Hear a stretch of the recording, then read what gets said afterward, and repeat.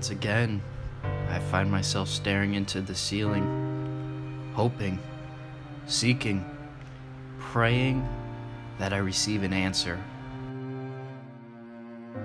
I feel broken. I- feel like I'm asking questions that will never have answers. This just doesn't make sense to me. I I don't know how this is possible. Look, Wylan, I I can't help you unless you tell me what's going on. Did you see Shape of Water? I did. Beautiful film. Beautiful film. The woman, she she had sex with a fish man. Like, how is that even possible?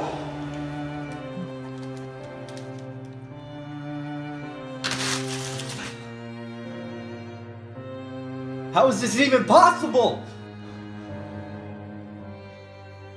Jake, I, I, I'm frazzled. I mean, this movie is openly lying to people. That's not what sex is, okay? No, sex is when a man takes out his nipples and the girl flicks them and they get hard. That's what sex is.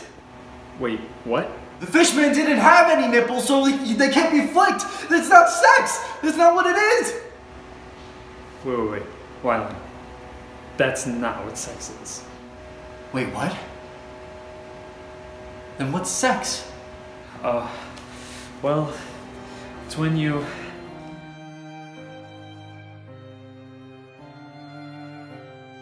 Just when I thought I've learned it all. I'm a new human now, enlightened, no longer lost. I now know that sex is only for birds and bees. Shape of Water in theaters now.